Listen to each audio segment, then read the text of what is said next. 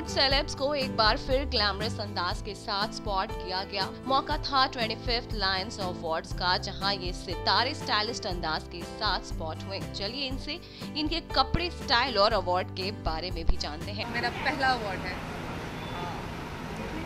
Promising face 2018 तो आज पाँच को दिया पिछले साल पाँच को दिए थे। तो हम सब इस इवेंट पे आते हैं और पुरजोर हमेशा खुशी होती है जब आपको नॉमिनेशन मिलता है।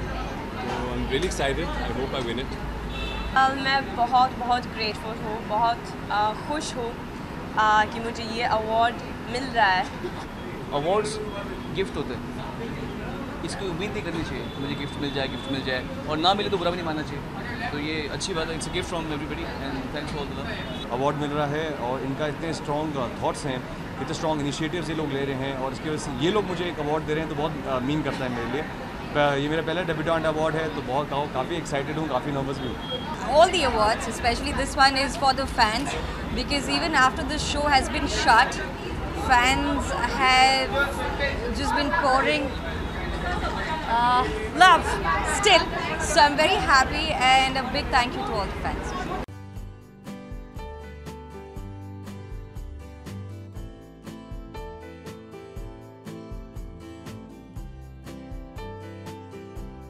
Bollywood की अपडेट्स और गॉसिप न्यूज़ के लिए माया पूरी कट सब्सक्राइब करना ना भूलें। और हमारे अपडेट्स जानने के लिए बेल आइकन ज़रूर प्रेस करें।